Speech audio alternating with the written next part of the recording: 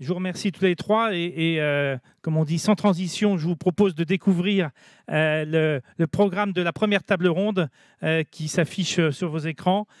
donc, je vais vous demander aux différents intervenants de me rejoindre. Kian Gaftache, qui est directeur général adjoint délégué au grand projet à maîtrise d'ouvrage de SNCF Réseau. Patrick Jantet, ancien PDG de SNCF Réseau et aujourd'hui senior advisor notamment de Vauban Infrastructure Partners. Loïc Dorbeck, euh, président de la GFI, Mickey est aussi président d'EFAGE Rail Express. Hervé Lequeniec, président de l'ISEA. Gilles Racoxy, directeur général d'Ocvia. Et Yves Crozet, euh, économiste des transports bien connu et professeur émérite à Sciences Po Lyon. Alors, je vous rassure, euh, pendant que nos différents intervenants s'assiedent à cette, à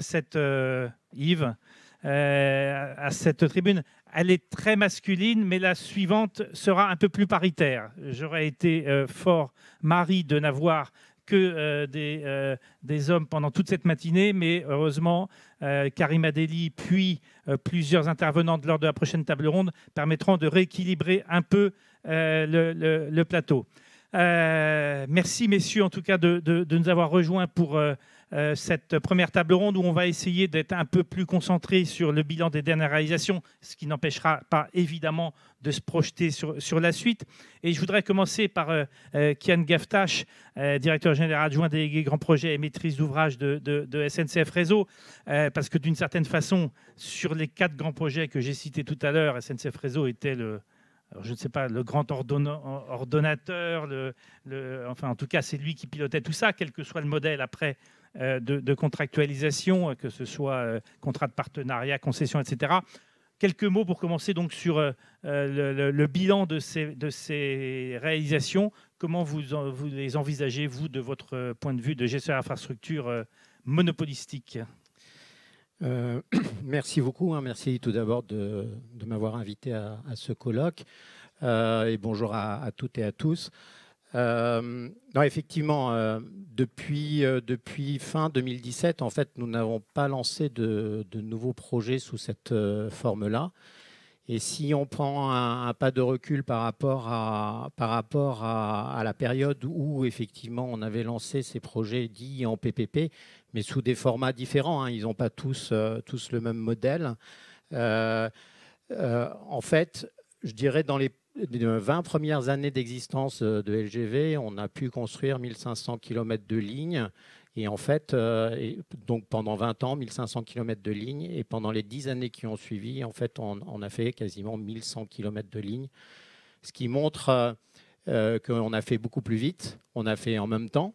ce qui était sans doute quelque chose, un, vrai challenge, hein. et donc pouvoir mobiliser ensemble euh, les moyens à la fois financiers, les ressources, les capacités industrielles euh, de conception, de réalisation de ces projets pour pouvoir faire euh, l'ensemble de ces lignes en, l'espace de 10 ans, c'était c'est quelque chose de globalement remarquable. Vous n'auriez pas pu le faire en maîtrise d'ouvrage public classique Non, concrètement, on n'aurait pas pu le faire. On n'aurait pas pu le faire. Alors c'est vraiment, je dirais, l'avantage qui saute aux yeux hein, quand on prend un pas de recul.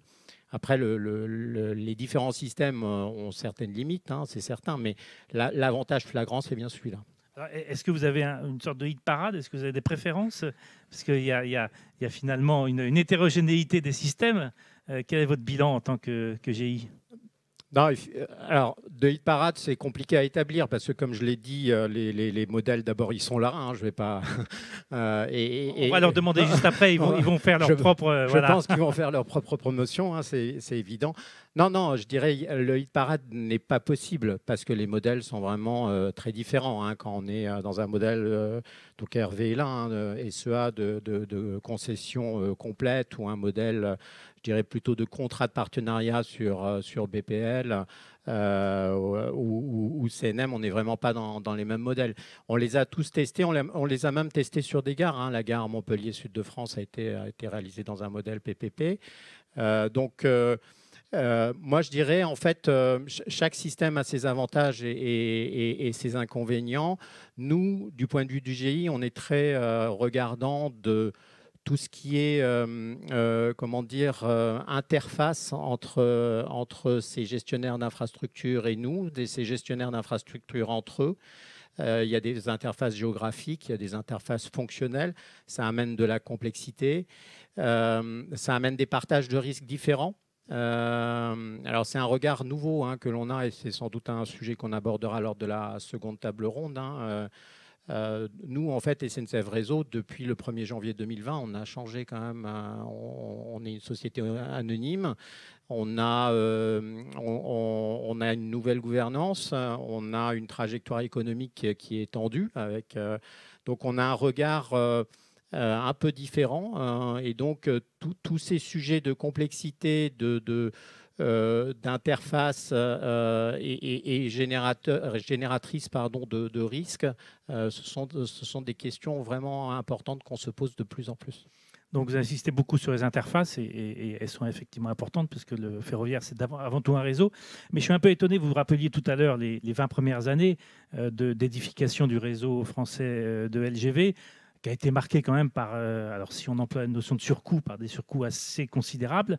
Euh, je suis étonné que vous n'ayez pas, euh, par rapport aux estimations initiales, hein, aussi bien sur Lyon, Marseille, sur le, TGV Nord, etc. Est-ce que, est que là, le, fait qu'il y ait une maîtrise des coûts, aussi bien lors de la réalisation qu'après sur l'exploitation, est-ce que ce n'est pas quelque chose qui vous rassure? Effectivement, hein, vous avez raison. Hein. J'ai cité la capacité à réaliser en 10 ans ce qu'on avait fait euh, euh, globalement avant.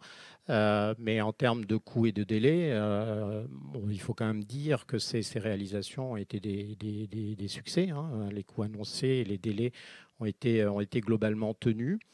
alors, ça repose aussi sur, il ne faut pas oublier, ça repose aussi sur un retour d'expérience de, plusieurs dizaines d'années euh, de projets de ce type-là, des modèles de conception euh, et de réalisation de ces lignes-là qui ont été éprouvés, euh, des retours d'expérience sur les méthodes d'exploitation, etc., qui ont amené à modifier ces... Et donc, en fait, ces, ces, nouvelles LGV qu'on a lancées, elles ont, il ne faut pas quand même l'oublier, bénéficié de ce retour d'expérience. D'ailleurs, la LGV Est a été la première à a expérimenté sous maîtrise d'ouvrage euh, direct euh, RFF, a été la première à, tenir à peu près, enfin bien mieux ses coûts. Euh, tout à fait, tout à fait. Et donc du coup, il voilà, il faut pas balayer d'un seul coup le passé. Il nous apprend énormément et donc on, on, en, on en, bénéficie.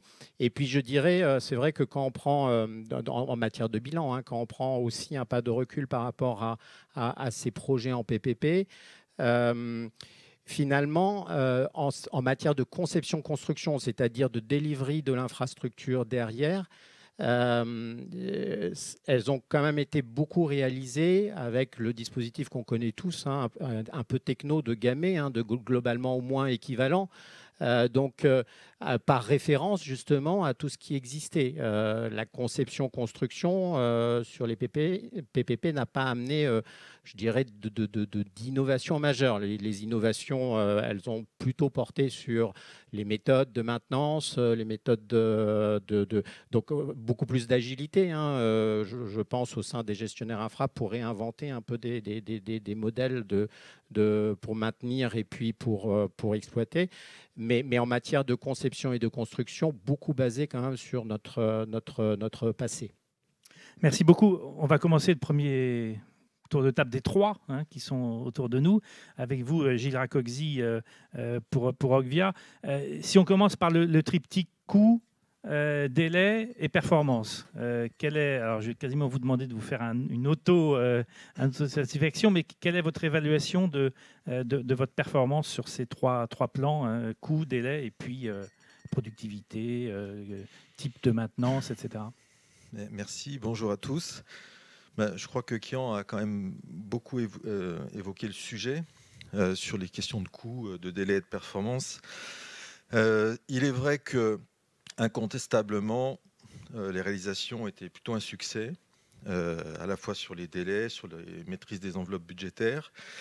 Et nous sommes soumis aujourd'hui, à travers notre contrat, à un certain nombre d'objectifs de performance qui sont très importants, parce que dans cette logique de gagnant-gagnant, on assure effectivement une optimisation euh, de la ligne. Donc le, contournement ferroviaire de, Nîmes-Montpellier qui a été mis en service en 2017, c'est 1,7 milliard, c'est aujourd'hui 98% euh, des trains qui sont à l'heure qui fonctionnent. On assure nous l'entretien et, la maintenance.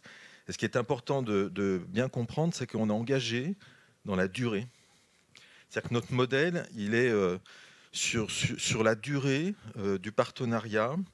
Et donc notre propre responsabilité euh, sur, cette, sur cette infrastructure, elle ne se limite pas effectivement à, à, quelques années, mais à 25 ans de contrat de partenariat. Donc ça nous oblige à développer nos savoir-faire et à le faire savoir et travailler effectivement dans une logique de, cohérence euh, et d'intelligence avec notre partenaire qui est, SNCF Réseau. Alors à titre d'exemple, on pourrait citer euh, l'environnement où il y a beaucoup d'efforts qui ont été réalisés pendant la ligne et qui, sont, ont, continué à œuvrer dans cette direction, et pas simplement euh, dans le cadre du projet. On va bien au-delà parce qu'on essaye de, marquer le territoire, euh, de s'ancrer territorialement auprès des collectivités en développant un certain nombre de partenariats euh, sur l'agriculture, sur la biodiversité, euh, sur, sur le solidaire, sur le, traitement des déchets. On a effectivement, qui on l'a rappelé, une certaine agilité, une certaine flexibilité. Ça nous permet de développer un certain nombre d'outils industriels, notamment en matière d'innovation. Pour citer qu'un seul exemple avec notre partenaire qui est Ovia Maintenance, qui s'assure de l'entretien et de la maintenance de la ligne. On a développé euh, le wagon WIN, qui est un wagon d'inspection qui nous permet effectivement quasiment en temps réel de connaître l'état et la situation de la ligne.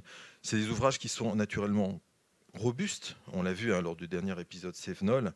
On a eu euh, la chance d'accueillir la totalité du trafic et donc de, limiter l'impact de ces engagements climatiques. Et pour pas être trop long, J'allais dire qu'on euh, s'est engagé dans une réflexion un peu plus globale et de long terme sur la résilience de l'infrastructure. On s'est attaché effectivement les services de bureaux d'études spécialisés pour réfléchir dans le cadre de l'évolution des scénarios climatiques à 20, 30, 50 ans. Quels sont les points forts de notre ligne Quelles sont la vulnérabilité, Et comment, effectivement, on corrige ces phénomènes dans les prochaines années pour s'assurer effectivement que le ferroviaire euh, va progresser et poursuivre. Ce que vous nous dites, d'une certaine façon, c'est on ne se contente pas d'assurer des prestations euh, de maintenance, etc. Vous, voyez au-delà sur des questions de, pérennisation, etc., qui, d'une certaine façon, vous inscrire sur un temps encore plus long que celui du contrat, peut-être. C'est ça un peu l'objectif que vous avez en, développant ces programmes environnementaux d'insertion dans, l'écosystème local? Oui, oui, effectivement. Hein. Euh, déjà le temps est, long, mais à, l'horizon. La durée de votre 25, ans. Mais à l'horizon du, ferroviaire, effectivement, on construit une ligne pour euh, un temps qui est beaucoup plus long. Et donc, on aura de toute façon un point de rendez-vous euh, quelques années avant la fin de notre concession, notre partenariat avec SNCF Réseau. Donc, on, est obligé de s'inscrire dans ce temps qui est beaucoup plus long pour permettre effectivement cette visibilité dont a besoin le ferroviaire. Et les échanges avec réseau, ils sont permanents du point de vue des méthodes, etc. Il y a, une, capillarité entre vos deux entreprises? Franchement, moi je pense que oui. Je pense qu'on a un vrai partenariat. oui, oui, je, confirme. Hein. Euh, bon, nous, on a appris un nouveau métier aussi qui était la gestion de ce type de, relations hein, partenariales, euh, de contrats. Et effectivement, on est dans le même objectif. Hein. On s'inscrit dans, la durée. Les échanges sont réguliers. Euh, on va voir. Gilles citait le, wagon Win. Bon, voilà, typiquement, c'est le genre de sujet qu'on est allé voir, euh, comprendre. Euh, et, euh, on a vraiment des, des, échanges réguliers sur tous les sujets de performance. Là, on a parlé de maintenance, des sujets de sécurité, des sujets voilà, de traitement des incidents, etc. Donc, ce partenariat existe et il vit, il vit bien. On continue notre tour avec, avec Loïc Dorbeck, qui a changé de casquette, qui à la fois président de, la GIFI, mais aussi président d'EFAGE Rail Express.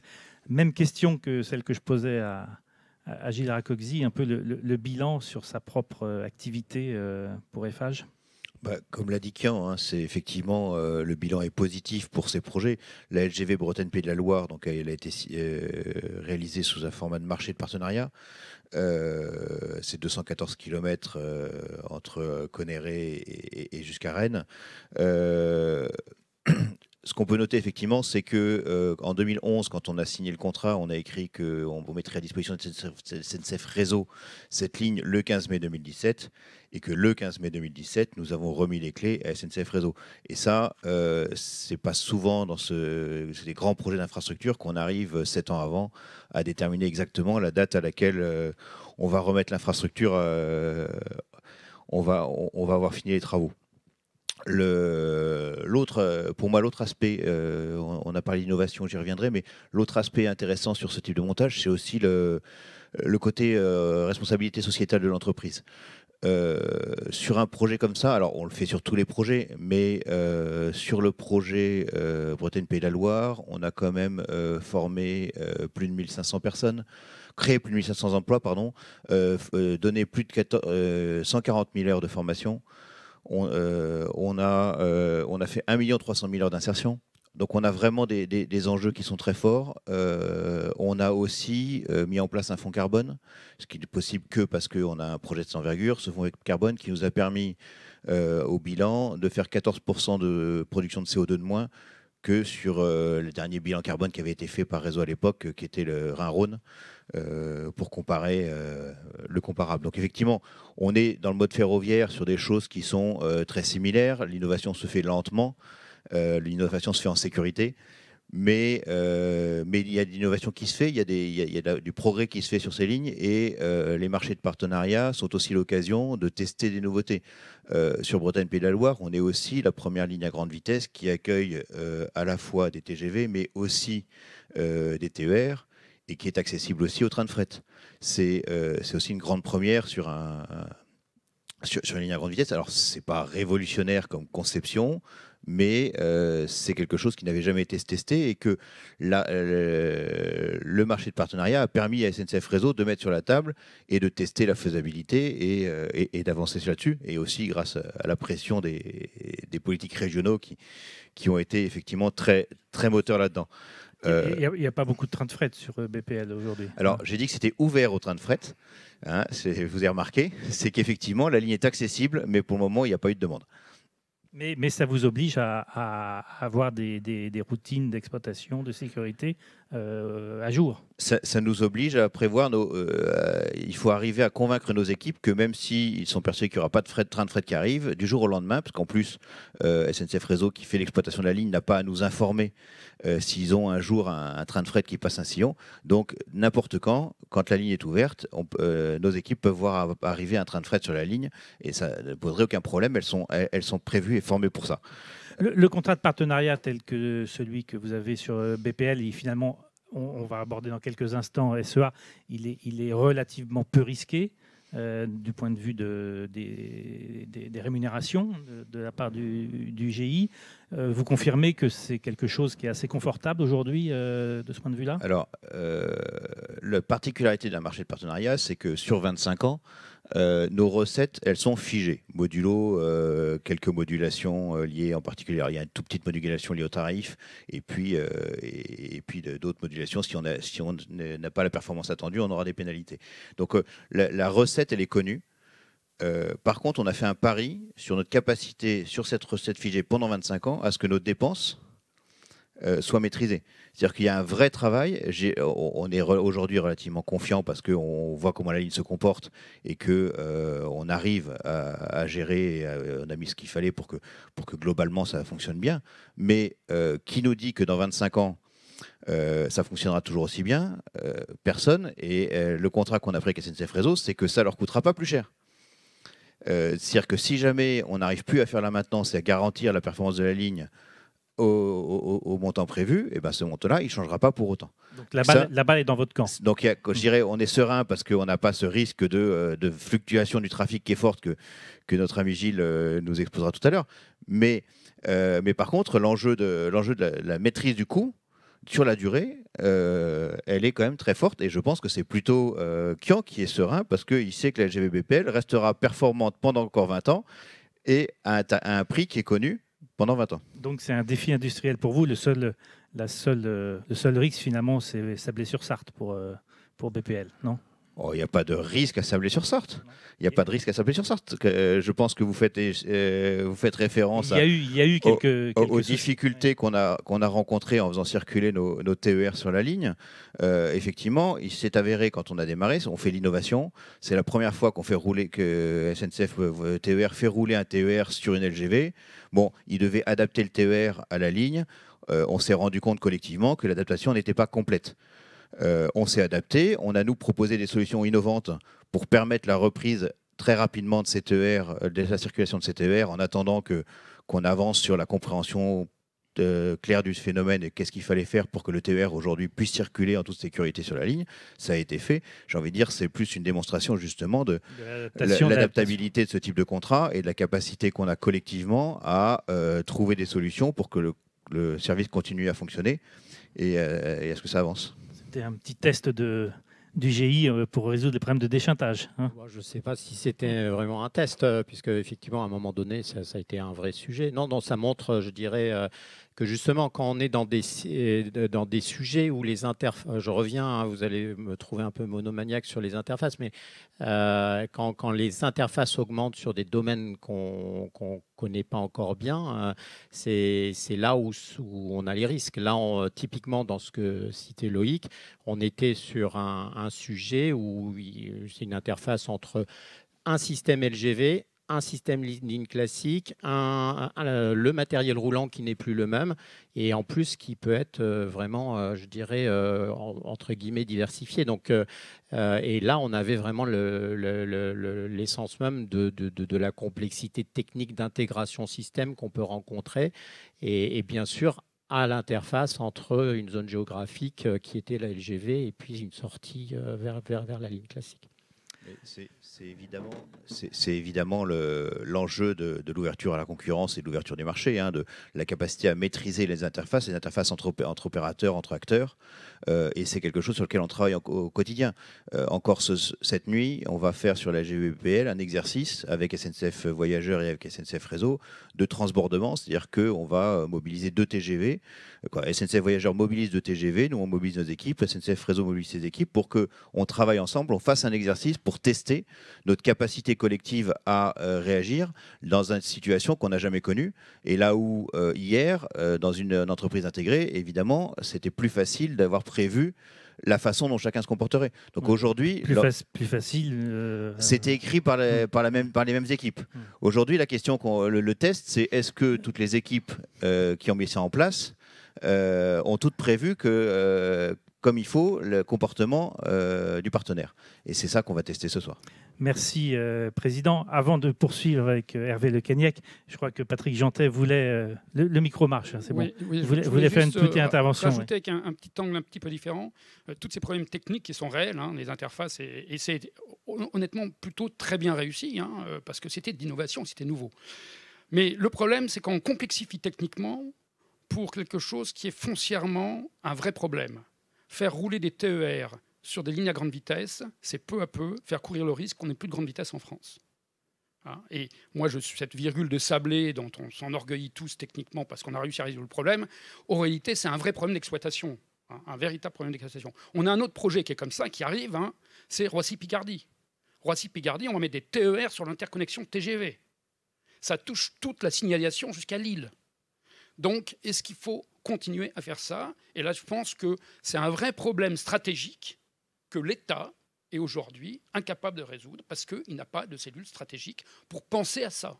La réalité, c'est est-ce qu'il faut mettre des TER ou des trains de fret sur des lignes LGV La réponse, elle est dans la question en réalité. Hein. On a créé des lignes LGV séparées, c'est bien pour faire de la grande vitesse. Sans ça, il fallait faire un système à l'allemande et faire des ICE. Mais ce n'est pas ce qu'on a choisi. Donc il faut être cohérent dans le temps sur ses choix. Et c'est bien un problème qu'on a aujourd'hui. Merci Patrick, c'était important de, préciser ça. On termine le tour de table des trois gestionnaires euh, privés avec euh, Hervé Le Kenyek sur euh, l'ISEA, président de l'ISEA. Donc un modèle différent, SEA, hein, de, concession avec des risques trafic.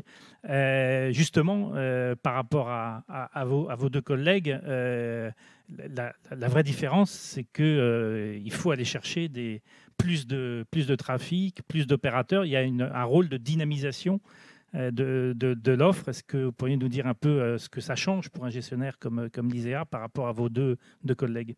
Oui, bonjour à toutes et à tous. Effectivement, notre concession, elle est d'abord de 50 ans, pas de 25, et avec euh, la, rémunération vient à travers les redevances ferroviaires payées par les entreprises qui circulent. Donc aujourd'hui, SNCF Voyageurs principalement, un peu de Thalys. Alors évidemment, ça veut dire que quand il y a de la demande, euh, l'opérateur met des trains, et quand il y a des trains, donc euh, l'infrastructure euh, est circulée. Aujourd'hui, on, regarde un petit peu comment tout ça pourrait évoluer. Ça a été dit dans la première table ronde, il y a, une vraie volonté de faire développer le transport passager dans le ferroviaire. Euh, doubler le, nombre de voyageurs en, grande vitesse d'ici 2030, c'est l'ambition de la Commission. Alors ça ne veut pas dire le doubler partout il y en a déjà, hein, parce que doubler sur SEA, ça va, être euh, plus difficile, puisqu'en France, on est déjà à des niveaux assez élevés. Mais il y a encore, euh, à notre point de vue, peut-être que Yves Crozet aura une position un petit peu différente, on pourra en débattre.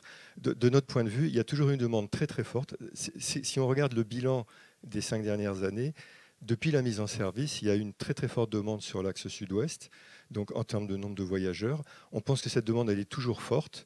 Elle est d'autant plus renforcée que la, navette aérienne Bordeaux-Orly a été supprimée euh, en juin cette année. Et euh, donc il faut pouvoir mettre plus d'offres. L'ouverture à la concurrence, c'est la manière dont la Commission européenne et l'État français pensent que ça viendra plus vite. C'est ce qui a été constaté à chaque fois qu'il y a eu de la concurrence quelque part. Il y a eu euh, une augmentation de l'offre parce que euh, euh, non seulement sur les lignes existantes, mais aussi sur le maillage complet de, ce qui est offert. Et donc, la grande vitesse, quand il y en a plus, il y a aussi plus de TER. Quand il y a plus de TER ou quand il y a plus de services des trains d'équilibre du territoire, tout, ce maillage supplémentaire crée de la demande sur l'ensemble du système de transport ferroviaire. Et il va falloir donc lever toutes les barrières à l'arrivée de nouveaux entrants parce que les obstacles sont encore nombreux. Euh, on discute avec de nombreuses entités, des investisseurs, des opérateurs euh, existants qui souhaiteraient euh, se lancer dans, le transport ferroviaire, mais qui ne le peuvent pas d'abord parce qu'il y a des problèmes de disponibilité de matériel roulant, des problèmes sur la signalisation, puisque les systèmes de signalisation sont très différents d'un pays à l'autre, et en France, on a quelque chose qui n'est pas compatible avec les autres pays, donc il faut en disposer, et ce n'est pas très facilement disponible. Euh, et, il y a un autre problème ensuite, c'est euh, la maintenance du matériel, parce qu'il faut pouvoir euh, trouver des sites où, les opérateurs pourront faire la maintenance de leur matériel. La il y a des sites aujourd'hui et on peut accéder, la, la, réglementation autorise un opérateur à demander à accéder à un site SNCF. Mais si jamais on veut augmenter le volume euh, de transport, ce n'est pas en allant prendre des ressources à SNCF qu'on va faire augmenter le marché global. Il faut, augmenter le gâteau plutôt que se partager le même Tout à fait. Sinon, le voyageur final, si c'est juste pour substituer un opérateur à un autre, ce n'est pas sur les services librement organisés, il ne va pas avoir beaucoup de différence.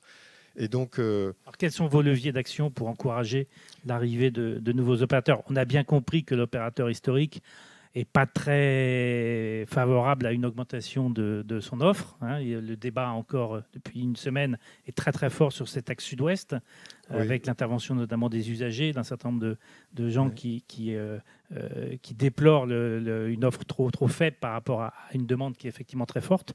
comment vous pouvez faire? Quels sont vos, leviers, ateliers de maintenance, etc. Mais concrètement, quels sont vos moyens d'action? Donc c'est un petit peu en ligne avec ce, que, qui avait été dit précédemment quel est le rôle du GI dans, cette action-là? Et aucun GI aujourd'hui en France n'a, enfin on n'est pas très nombreux, hein, n'a d'atelier de maintenance mis à disposition des opérateurs. Et, donc la, réflexion qu'on a aujourd'hui c'est de se dire, si ce n'est pas le GI qui le construit, ça n'arrivera pas parce que c'est un engagement qui est très long terme, qui est très coûteux. Euh, un opérateur, il faut déjà qu'il investisse dans le matériel. Et si jamais la, desserte qu'il fait au bout de 10 ans, il veut changer, il sait qu'il pourrait utiliser son matériel ailleurs. Mais s'il a un atelier quelque part, il ne saura plus quoi en faire.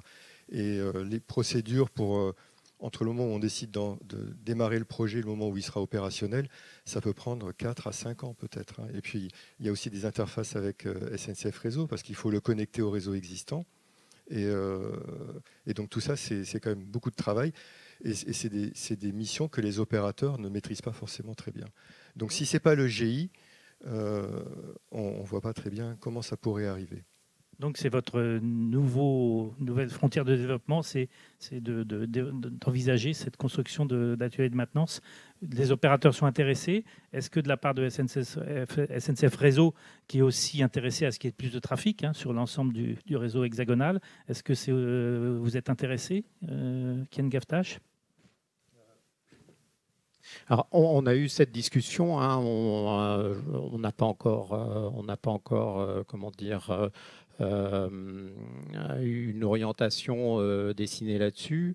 je parle évidemment du cas de, l'ISEA. Hein, après, la situation plus globale sur le réseau, évidemment, elle est, complètement différente. Hein. Nous, on a sur le réseau généralisé, donc avec SNCF Voyage, avec TER, etc. c'est vraiment eux qui prennent en charge ce, volet atelier de, maintenance. sur l'ISEA, je dirais c'est vraiment à, la société de, concession, hein, de, notre point de vue, de, euh, de, de, de, mener cette, euh, cette réflexion. Après, pour les volets interface avec le réseau existant, évidemment, nous, on est prêt à étudier le sujet vous êtes prêt avec à, à, faciliter les raccordements à partir du moment où ça, ça. encourage plus de trafic. Et avec de trafic, plus de trafic sur SEA, mais plus de trafic sur le RFN aussi trafic induit, c'est ça euh, Parce qu'en fait, SEA n'est pas une origine-destination en, soi. Hein. Donc, un train qui fait Paris-Bordeaux ou Paris-Hendaye, il passe par SEA, mais il passe aussi par le RFN, par les gares. Donc, euh, le trafic qui est généré sur SEA, il n'est pas que sur SEA.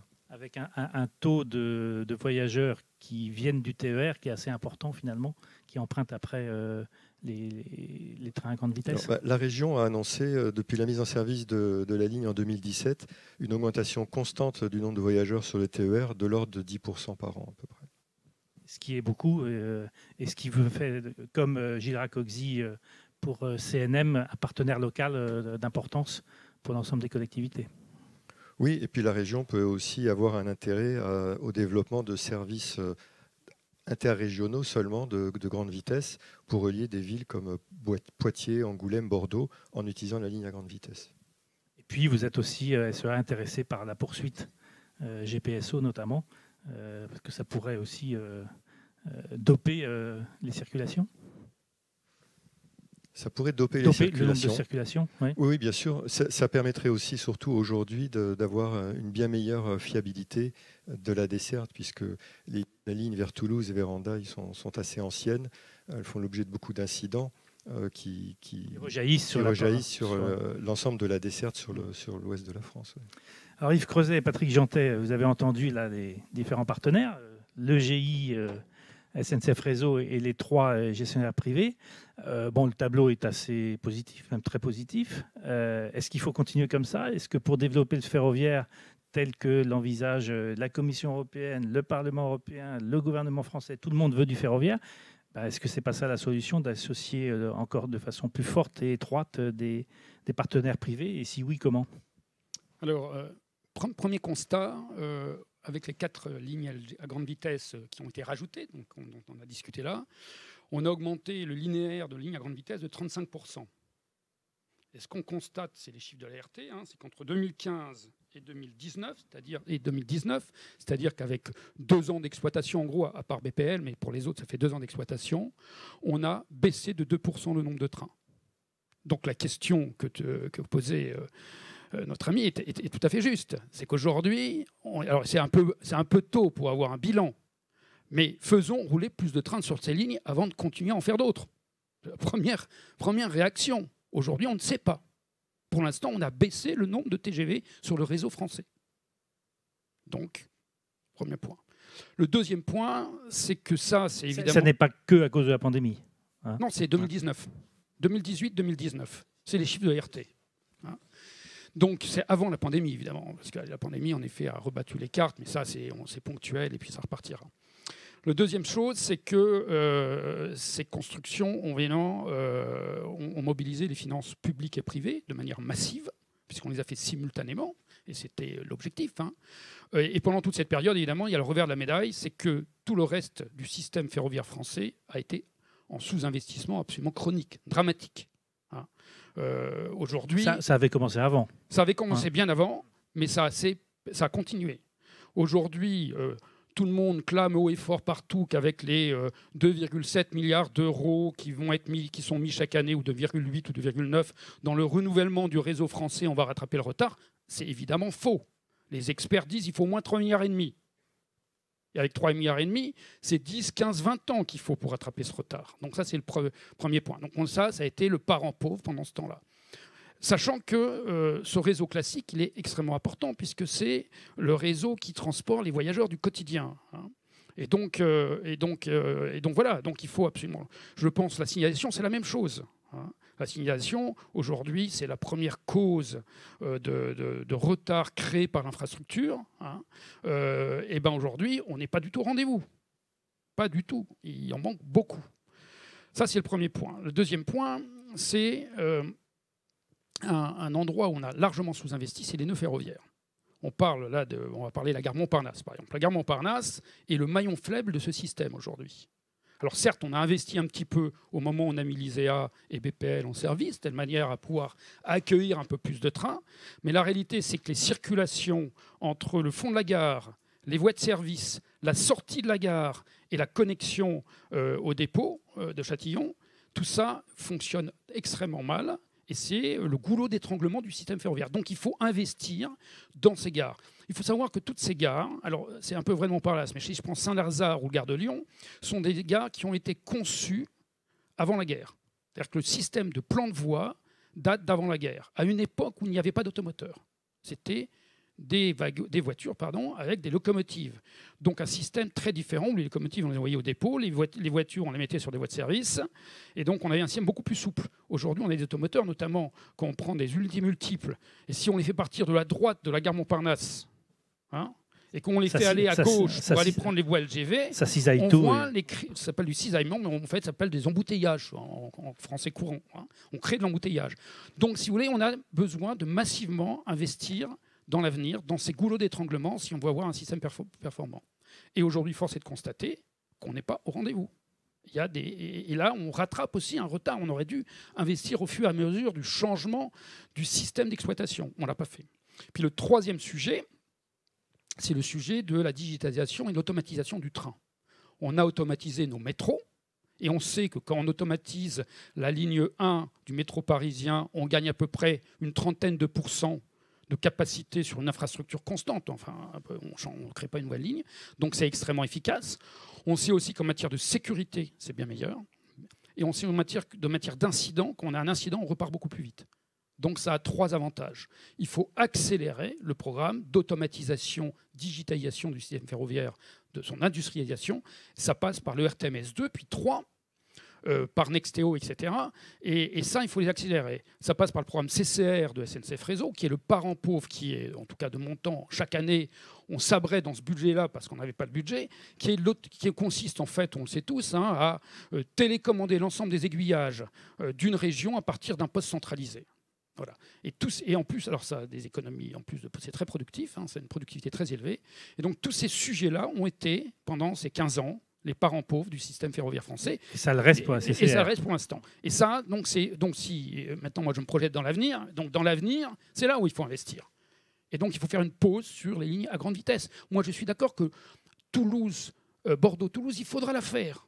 Mais aujourd'hui, faisons une pause pour pouvoir investir sur le reste. On n'a pas les moyens financiers d'investir sur tout il faut savoir arbitrer et on a des phases où c'était du LGV. Ben, maintenant, c'est des phases où c'est des transports du quotidien sur lesquels il faut euh, investir.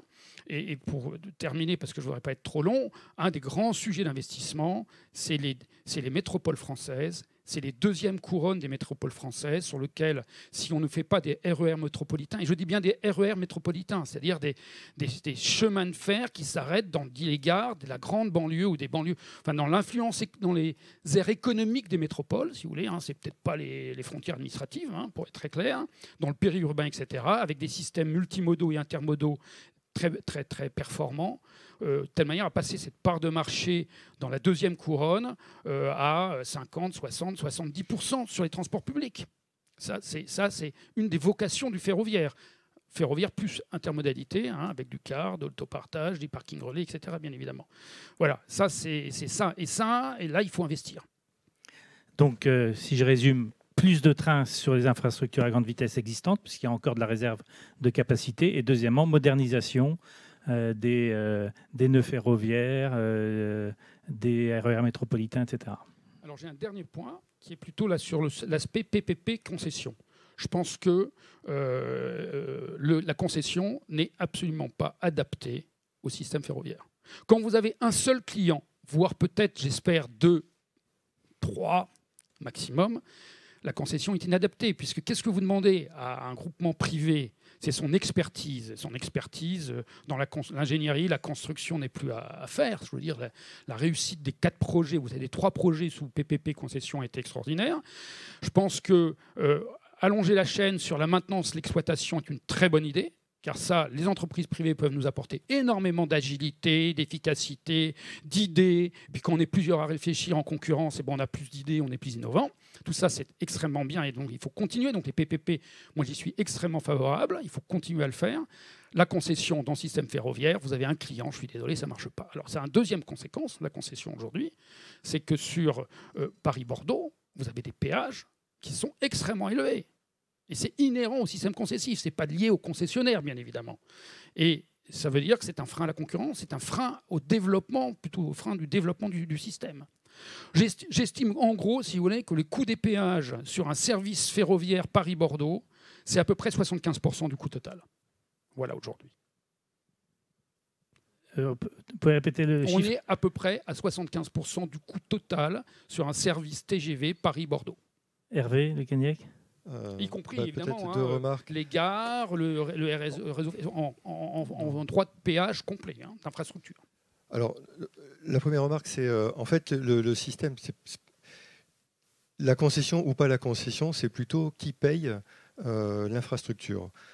Quand le gouvernement avait décidé de faire quatre LGV en même temps, il n'avait pas beaucoup d'argent et donc il s'est retrouvé avec une somme de subventions publiques très limitée et ce qui fait euh, que le péage est plus élevé sur SEA, c'est que l'investissement initial était beaucoup plus faible du point de vue du gouvernement. Donc 50% de subventions publiques pour SEA, entre 75 et 100% pour les autres LGV. Donc si le gouvernement décide que c'est le voyageur final qui paye, c'est forcément à travers le péage. Donc euh, après, si on veut que le voyageur final paye moins, il faut que le gouvernement investisse plus d'argent au départ dans le projet. Ensuite, sur le, sur le montant euh, du péage, non, ça, ça je ne veux pas donner un chiffre parce que je n'ai pas les chiffres exacts en tête, mais le péage ne représente pas cette proportion-là, même sur Paris-Bordeaux. Tout péage, y compris gare, Non, parce que, en fait, aujourd'hui, si on regarde. Euh, ça dépend à quoi on compare. Si on compare un Paris-Lyon à un Paris-Bordeaux, entre l'origine et la destination, donc entre Paris et Bordeaux, il y a Paris-Tours, il y a Tours-Bordeaux, il y a Montparnasse et il y a la gare Saint-Jean. Paris-Lyon, si vous prenez le prix moyen d'un TGV en unité simple, euh, comme vous voyez sur la photo, mais la moitié seulement, c'est à peu près équivalent. Le, coût du péage au kilomètre est à peu près équivalent entre Paris-Bordeaux et Paris-Lyon.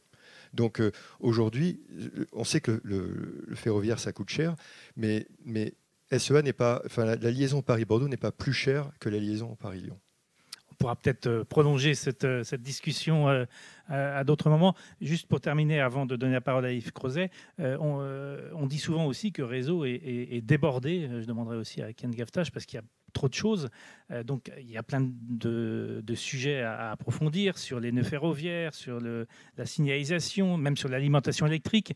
Comment faut faire? Parce que euh, le réseau n'a pas non plus des moyens euh, financiers et humains. Est-ce qu'il faut là aussi, sur des questions de régénération, de modernisation, ouvrir au privé? Non, mais réseau est débordé parce que les autorités publiques sont incapables de donner des priorités. On veut que réseau fasse tout. Le débat sur les petites lignes est quand même édifiant là-dessus Moi, je suis pour qu'on transfère la totalité des petites lignes aux régions. Comment se fait-il que des TER, qui ne sont de la compétence exclusive des régions, roulent sur des infrastructures dont 80% est financé par l'État, soit directement, soit via réseau? C'est totalement irrationnel. Soyons rationnels. Et ça, ça prend beaucoup de temps à réseau s'occuper de, tous les petits, de, toutes les petites lignes, de faire des renouvellements permanents, parce que ces lignes, elles sont assez vieilles, etc., ça, ça, ça, accapare énormément. Donc, par exemple, voilà une solution pour aller dans le bon sens. Mais il faut... Euh, aujourd'hui, on, on, a du mal à arbitrer entre les projets. On veut tout faire. Et ça, et réseau, bah, il est le réceptacle de tout ça. ça, c'est un problème un mot, Kian Oui, très rapidement, un mot. Euh, bon, je, partage ce que dit Patrick. Euh, euh, nous, comme n'importe qui autour de la table, on a besoin d'une visibilité sur, pour s'organiser industriellement. Et en fait, au-delà de choisir des priorités, moi je dirais il y a aussi la stabilité dans les priorités qui sont données qui sont importantes. Euh, c'est compliqué euh, pour nous de changer de pied euh, et d'avoir des priorités qui, changent. Donc, et, donc, ça, pénalise notre organisation. Après, c'est vrai qu'à un moment donné, on aura atteint nos, limites de production. Mais avant tout, si on était sur un schéma, je dirais, priorisé et stable sur le long terme, on saurait quand même mieux s'organiser. C'est une raison pour laquelle euh, si euh, les projets GPSO euh, Montpellier-Perpignan, voire Côte d'Azur se, concrétisaient, vous seriez plutôt favorable à associer le privé parce que sinon ça déshabillerait un peu quand même vos effectifs qui sont aujourd'hui concentrés sur les, les, dossiers du quotidien? Alors après, c'est un autre débat. On va rejoindre aussi d'autres sujets, euh, comme, euh, enfin, je pense qu'on l'abordera euh, aussi lors de la deuxième table ronde. On va aborder d'autres sujets comme quel est le modèle de maîtrise d'ouvrage, le partage de risque, quel est le modèle de financement, etc. Mais au-delà de ça, encore une fois, sur ces projets-là, euh, nous, pour s'organiser, euh, il faut avoir la visibilité euh, sur la planification de ce projet, l'ordre dans lequel ils arrivent, et, donc que ça soit, ce, soit stable et que d'ici là, les choses ne viennent pas bouger régulièrement. Merci Yves Crozet. voilà, même question que celle que je posais à Patrick Jantet tout à l'heure. Vous avez une vision panoramique du, de, cette, de, ces questions d'infrastructure ferroviaire et notamment des lignes à grande vitesse. Euh, Patrick Jean t'a dit il faut faire une pause parce que l'urgence, c'est de consolider le modèle et de résoudre les problèmes de, vétusté. Euh, est-ce qu'on est arrivé au bout du, réseau et, comment, deuxième question, comment, euh, comment évaluer l'apport de ces, de ces partenaires privés à cette économie ferroviaire qui est quand même, je vous dis souvent, en grande difficulté? Oui, merci, euh, merci de l'invitation. D'abord, moi j'ai une satisfaction de vieil homme, puisqu'il y a dix ans, j'étais au conseil d'administration de RFF et j'ai suivi de près au comité des engagements euh, les, contrats, les, PPP, la, concession, etc. Et, et, je suis bluffé par le fait qu'on est arrivé en temps et en heure et en montant. Euh, à l'époque, je faisais souvent des séjours euh, à Washington et je ne vous dis pas les, coûts qu'ils avaient pour étendre le métro de Washington jusqu'à l'aéroport, les surcoûts qu'ils ont eus, les délais, enfin la, corruption qu'il pouvait y avoir, etc. Donc franchement, on a, un vrai succès euh, ici en France.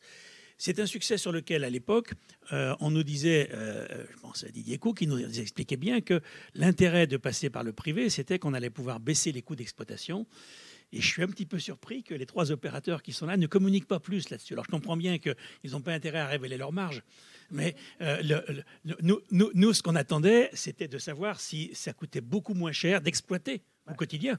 Hein, bah, bah, oh, ça peut être qu'en PPP, pas forcément en concession, d'exploiter au quotidien euh, des, lignes qui sont en même temps exploitées par le secteur public et on pourrait comparer. Donc je vous laisse. Et Loïc, Loïc Dorbeck a avoué l'objectif quand même. Hein, Donc je vous, laisse, hein. je vous, laisse, quand même nous, nous, renseigner dans quelques temps là-dessus.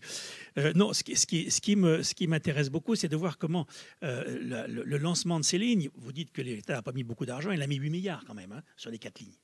Ça a, ça a coûté 15 milliards. Voilà, donc bah, bah, dans SOA, il a mis quand même 3 milliards. Donc euh, voilà, donc c'était quand même pas mal. Ce qui m'intéresse, moi, c'est de voir comment le modèle économique du TGV français a évolué. Et on a, a aujourd'hui un modèle qui est à la fois un héritage de l'ancien modèle, c'est un modèle autoporteur, où il fallait que le passager paye tout, euh, y compris l'infrastructure, d'où des coûts de péage relativement élevés, et, un modèle euh, que j'appelle méditerranéen, parce qu'il emprunte à l'Italie et à l'Espagne, où l'autorité publique paye l'infrastructure, et si vous allez en Italie, les péages sont pratiquement un tiers de ce qu'ils sont en France, et la moitié de ce tiers est payé par les collectivités locales et l'État. Donc vous avez des systèmes où, de fait, euh, pour éviter la faillite de NTV en Italie, ben, on a baissé les péages. Et donc, bien évidemment, sur SOA, euh, tant, que euh, vous avez des péages mécaniquement extrêmement élevés, ça va être compliqué d'attirer d'autres opérateurs. Pourquoi la Deutsche Bahn pas, ne s'est pas lancée il y a quelques années sur le Londres-Bruxelles? Tout simplement parce que les péages d'Eurotunnel euh, sont, sont, gigantesques. Une réplique de. Oui. Mais c'est pas que sur SR, on est d'accord. En, Italie, pour. Euh, SNCF Réseau paye euh, la mise de l'ERTMS sur Paris-Lyon. En Italie, c'est l'État qui paye directement tout voilà, voilà, on est d'accord. France, sur, l'ensemble des lignes à grande vitesse, que ce soit SNCF Réseau ou, ou l'ISEA, est trois fois plus cher qu'en Italie. Tout à fait. Mais parce que le gouvernement italien a décidé que l'usager final paierait beaucoup moins et hmm. que l'État comprendrait. Tout à fait.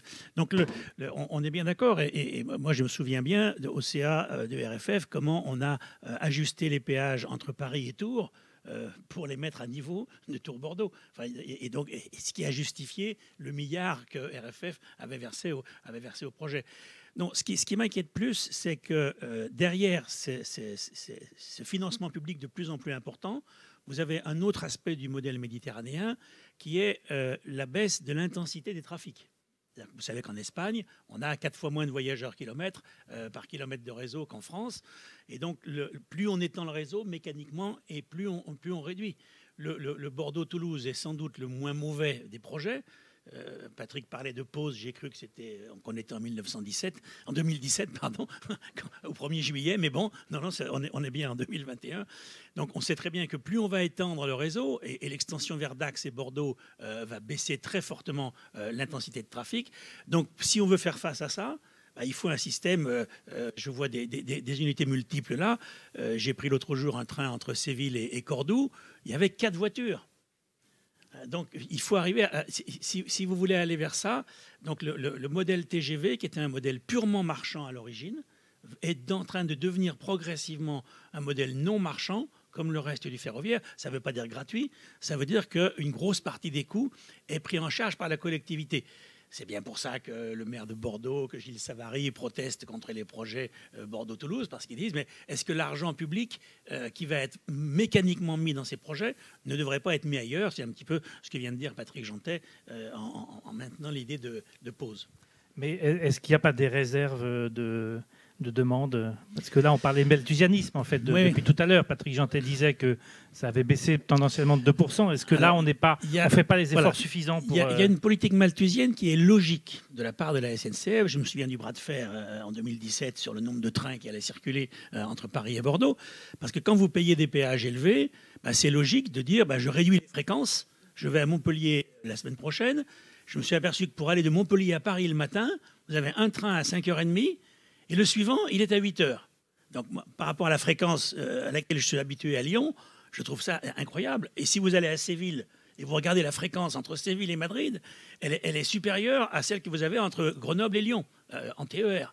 Donc, et pourquoi c'est possible? Parce que les péages sont plus faibles et parce que l'entreprise est subventionnée et qu'elle met des unités de, petite taille. Donc vous voyez bien que vous, ne pouvez pas demander à la SNCF euh, de, faire en même temps des péages élevés et d'augmenter le nombre de trains. Il faudra, si vous voulez qu'elle soit moins malthusienne, il va falloir d'une façon ou d'une autre agir sur les péages. Et c'est, je pense, ce qui va se passer. Et ce qui va se passer, c'est que le modèle méditerranéen va nous obliger à mettre non seulement de l'argent dans la construction des lignes, mais à mettre de l'argent dans l'exploitation des lignes.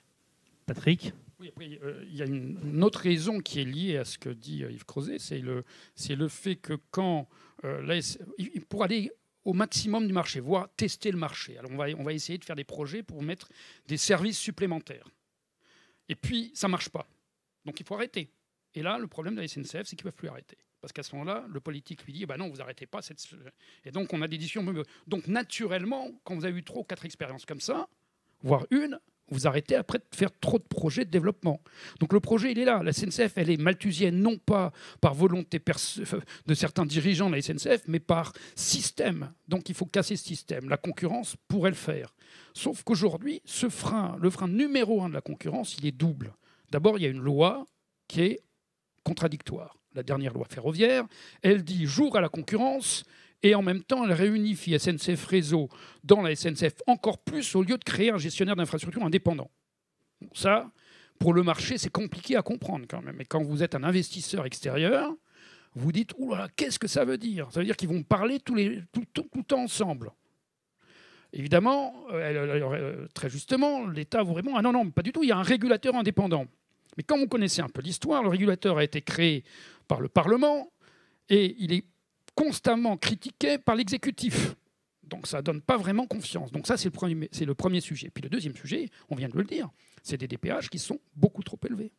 Globalement, je, ne critique pas l'ISEA, euh, ne, ne, ne, pas là-dessus. Je dis seulement que le système concessif apporte, enfin la concession LISA apporte mécaniquement un surcroît de péage, c'est tout, hein, et donc qui devient plus fort. Voilà, c'est quand on fait le calcul. Mais c'est vrai d'une manière générale, même sur le Paris-Lyon. Sur le Paris-Lyon, les péages sont beaucoup trop élevés si on veut vraiment que, ce marché se, révèle, en fait. Voilà. Oui, tout à fait. En fait, le, problème, il faut vraiment le regarder dans sa globalité en France, parce que on a tendance à focaliser sur l'ISEA parce que le péage est un peu plus cher sur l'ISEA que sur le reste, du fait d'une subvention publique plus faible. Mais le problème, il, est dans la même ordre de grandeur sur l'ensemble des LGV. C'est-à-dire qu'on est, on est un peu plus cher, mais on n'est pas très différent. Et donc, on est plus cher.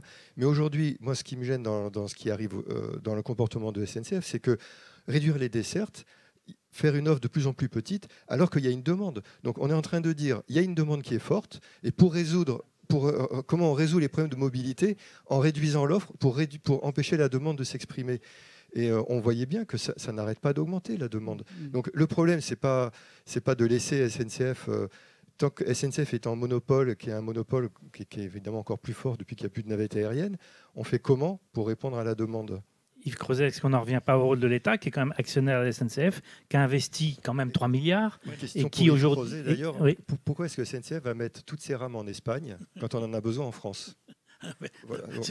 Ça fait beaucoup de questions à l'économiste. Alors ça, c'est ce qu'on appelle le modèle de concurrence à la Cournot. Il faut, il faut être là à la Cour, pas à la, pas, pas à la Cornio, excusez-moi, à la, à la Cournot, qui est un économiste français du 19e c'est que, euh, mais c'est pareil pour Tello qui vient en France, alors qu'ils vont perdre de l'argent avec euh, en, venant sur Lyon-Paris, parce que euh, quand vous êtes dans une logique en concurrence, il faut y aller et il faut faire de la concurrence sur les volumes. Mais, non, mais je, suis bien d'accord avec vous. Je ne soutiens pas cet investissement qui, en plus, sera un investissement qui a, déjà coûté très cher et qui sera sans doute pas rentable. Mais il faut, être là. Sur la demande, je m'interroge quand même, hein, parce que quand on regarde de près ce qui se passe depuis dix ans, alors évidemment, il y a, chaque année, il y a une grève. Euh, parfois, je ne parle pas de la pandémie, etc., mais la progression de trafic. Euh, Patrick disait que le nombre de TGV, le nombre de rames a baissé de 2%, mais la hausse du trafic est quand même relativement modérée. Euh, sur Paris-Lyon, on, sait très bien que l'élasticité au PIB est faible. Elle est de 0,2 à peu près. sur, sur Paris-Bordeaux, elle est plus forte. Sur l'ouest, le développement de la population à Bordeaux, l'élasticité est plus forte. Donc on sait que les trafics vont augmenter. Mais encore une fois, moi, j'ai écouté longtemps la SNCF avant l'ouverture, donc en 2017, nous dire cette ligne, on va perdre de l'argent. Et le discours de M. Macron, vous le savez très bien, le 1er juillet 2017, il est rédigé par quelqu'un de la SNCF et, il dit il faut faire une pause parce que la SNCF, à l'époque, dit on va perdre de l'argent sur le Bordeaux-Paris. Je pense qu'ils ne le disent plus aujourd'hui, enfin, ils ne disent pas qu'ils en gagnent, mais que fondamentalement, n'oubliez pas que de 90 à 2019, le trafic ferroviaire en France, euh, grande ligne, donc TGV et intercité, c'est plus 10 à plus 15 Le trafic aérien, c'est plus 60% Donc il y, a aussi une évolution des modes de vie qui fait que quand vous habitez à Lyon, bah, vous pouvez faire un week-end à Paris ou à Marseille en prenant le TGV, mais vous pouvez aussi aller à l'aéroport avec EasyJet, et là vous avez 40 destinations possibles. Donc il faut bien comprendre que le ferroviaire euh, a souffre aussi du fait que, alors, pour le télétravail, on le voit avec les euh, aujourd'hui, euh, voilà, des, gens comme moi bah, prennent moins le TGV parce que demain, je fais un conseil d'administration en télétravail depuis chez moi. Donc, donc je ne suis pas sûr que la demande le cas de l'Ouest est particulier, mais je ne suis pas sûr que la demande soit si à long terme aussi forte qu'on puisse l'imaginer. Vous parliez en début de votre intervention sur l'exemple méditerranéen, le modèle méditerranéen. En Italie, baisse des péages, augmentation de, du nombre de, de, kilomètres, plus de voyageurs. C'est en grande partie faux. Vous regardez les chiffres sur l'Italie, vous regardez les chiffres du, du, système ferroviaire italien grande distance avant la mise en place des TGV, donc vous remontez 15 ans en arrière, et vous regardez le niveau de trafic en 2019. Et vous vous apercevez qu'ils ont fait 1000 km de TGV, qui sont avec une bonne intensité de, fréquentation, mais on a eu simplement un remplacement des, lignes à grande vitesse classiques, enfin les lignes classiques, par les lignes à grande vitesse. Le trafic a augmenté d'à peu près 10-15% euh, sur 15 ans. Quand on voit les milliards qu'ils ont mis dans le projet, je pense qu'ils ont eu raison de le faire pour tout un tas de raisons d'aménagement du territoire et de modernisation. Mais la progression des trafics, quand vous êtes en Italie, qui a perdu un million d'habitants notamment les populations euh, formées qui immigrent, et que vous avez un déficit des naissances de 300 000 par an euh, par rapport à la mortalité, voilà, je, et vous avez un PIB qui n'a pas bougé depuis 10 ans. Ce qui porte les trafics, c'est l'élasticité de la demande au produit intérieur brut. Quand le PIB stagne, ben, ne cherchez pas les trafics. Hein. Est-ce que quand on a dirigé SNCF Réseau, on a connaissance des taux de remplissage, par exemple, des, trains, euh, pour essayer d'évaluer s'il euh, y a du malthusianisme ou non? Parce que le taux de remplissage, on dit qu'ils sont sur certaines lignes extrêmement élevés et que donc euh, d'une certaine façon, ils révèlent, des réserves de demande Non, la réponse est non. On n'a accès à absolument rien du modèle de l'opérateur ferroviaire. Ça, absolument pas. En plus, comme vous savez, les péages. Alors, il y a, l'ART souhaite, euh, enfin étudie en tout cas la possibilité d'avoir des péages au, nombre de passagers, hein, au nombre de passagers et non pas au nombre de trains. On va dire ça comme ça. Aujourd'hui, c'est pas le cas. Et une des raisons qui bloque cela, c'est évidemment l'accès à l'information, puisque même l'ART a du mal à avoir cette information. Là, on est quand même. Euh, ce qui est, ce qui est à ce titre-là très différent de l'aérien, où, euh, quand j'étais chez Aéroport de Paris, on avait le taux de remplissage des avions. On est quand même dans une, boîte noire un peu dans le ferroviaire. On oui, continue être dans une boîte noire. La SNCF maintient sa boîte noire autant qu'elle peut. Elle, résiste toujours à l'ouverture des données. On sait, on sait quand même à peu près quels sont les taux de remplissage des trains. Et après, vous savez bien qu'il y a des lignes sur Lyon-Paris où le taux de remplissage est plus élevé. Et dès que vous prenez euh, Paris-Annecy ou Paris-Remiremont, vous êtes à des niveaux plus faibles. Et là aussi, ce qu'on oublie de dire, c'est le mécanisme de péréquation massif qu'il y a entre certaines lignes et le reste du réseau. Et donc, vous regardez euh, en fait le, le, Paris-Annecy, que je surveille de près, eh ben, ils, ont, ils ont enlevé une fréquence. C'est la circulation de moins. Euh, voilà, ils, ont organisé les choses euh, en enlevant une fréquence avant même la pandémie. On pourrait continuer longtemps, mais je m'aperçois qu'on a déjà pas mal débordé l'horaire, donc on va aller à la table ronde suivante. Juste peut-être une question très rapide aux trois, euh, si possible une réponse aussi rapide que la question. Est-ce que vous partagez euh, des expériences entre vous? Est-ce que vous échangez? Est-ce que vous avez une sorte de comment dire de, partage d'expériences, de retour, de pratiques, etc. Un mot. On Chacun. peut répondre tous les trois ensemble. Hein. C'est oui. en fait, on a une plateforme de discussion commune avec SNCF Réseau qui, s'appelle le Rex InterGI, qui est une plateforme commune de partage d'expérience qui fonctionne très bien. Ben voilà, c'était une réponse rapide. Il a tout dit. Pareil, pareil. Ah oui, il a tout dit. Unanimité des acteurs privés. Merci à vous tous. On aurait pu continuer longtemps, mais il faut absolument qu'on commence la deuxième table ronde.